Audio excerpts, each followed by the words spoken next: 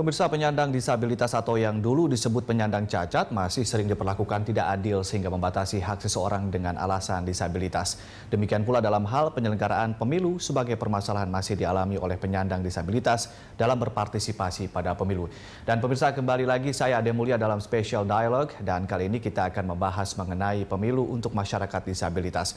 Untuk itu di studio telah hadir bersama kami Bapak Happy Sebayang selaku Wakil Ketua Pusat Pemilihan Umum Akses Penyandang Cacat atau PPUA Penca.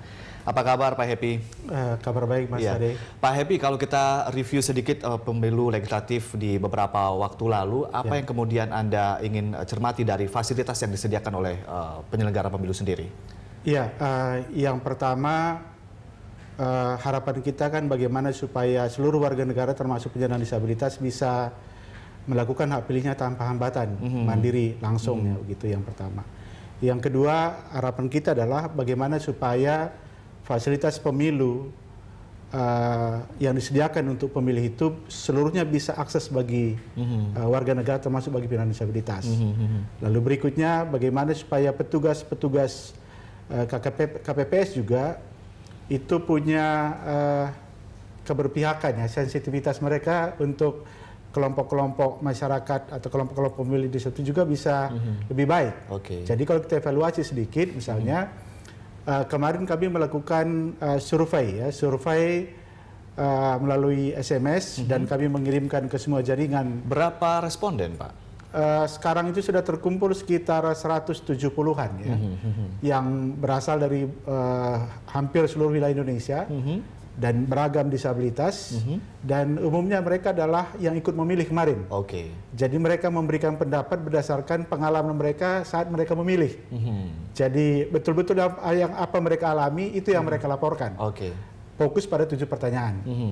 Misalkan seperti pertanyaan pertama, pertanyaan pertama adalah apakah dari pengamatan mereka ketika mereka datang ke TPS menurut mereka TPS itu akses enggak bagi mereka? Oke. Okay. Mudah untuk mereka jangkau atau tidak? Itu yang mm -hmm. pertama. Mm -hmm. Yang kedua ketika mereka ke TPS dan uh, memilih, yeah. apakah setahu mereka itu ada nggak alat bantu itu, alat okay. bantu coblos tunanetra? Mm -hmm. Yang ketiga, gitu ya? ah ya fasilitasnya. Mm -hmm. Yang ketiga, misalkan ketika mereka ke TPS, apakah petugas itu paham mm -hmm. tentang alat bantu dan cara untuk membantu pemilih disabilitas ketika mereka datang? Mm -hmm.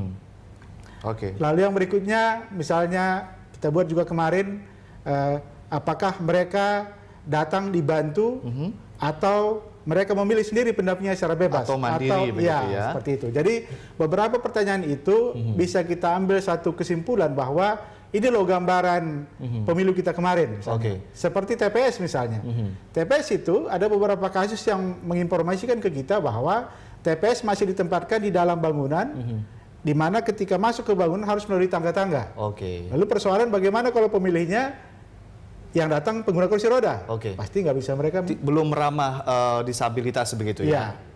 Oke. Okay. Selain itu, apakah kemudian juga TPS-TPS yang dianjurkan oleh kaum disabilitas uh, lokasinya yang seperti apa sih Pak selain aksesibel itu tadi? Iya, uh, yang pasti lokasi itu sebisa mungkin mudah untuk dijangkau. Mm -hmm. Itu yang pertama.